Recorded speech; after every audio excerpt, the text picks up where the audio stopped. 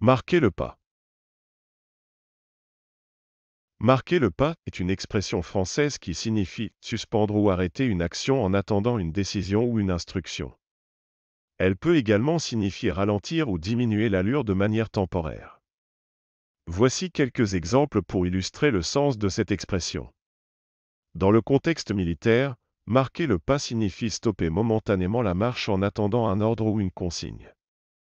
Par exemple, lors d'une parade militaire, les soldats peuvent marquer le pas en attendant les instructions du commandant.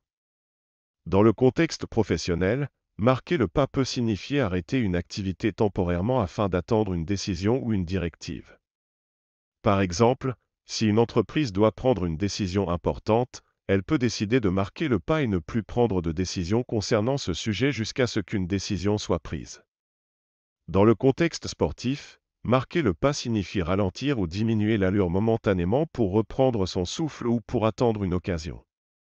Par exemple, en course à pied, un coureur peut décider de marquer le pas pour récupérer de l'énergie avant de repartir à pleine vitesse.